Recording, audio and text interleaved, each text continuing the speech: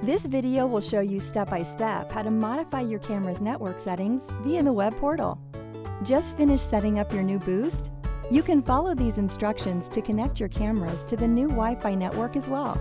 Please note this process only works if your device is still connected to power and has an existing internet connection. First, log into the web portal, select Video, then Settings. In the Video Device drop-down menu, select the camera you'd like to modify your wireless network settings for. To enter the new setting, select Scan to scan for your wireless network. Enter your Wi-Fi password and connect the camera to a new Wi-Fi network. Doorbell cameras must be reconfigured separately. Select Continue to apply the new wireless network settings. And it's that easy to reconnect your video cameras to a different Wi-Fi network using the web portal.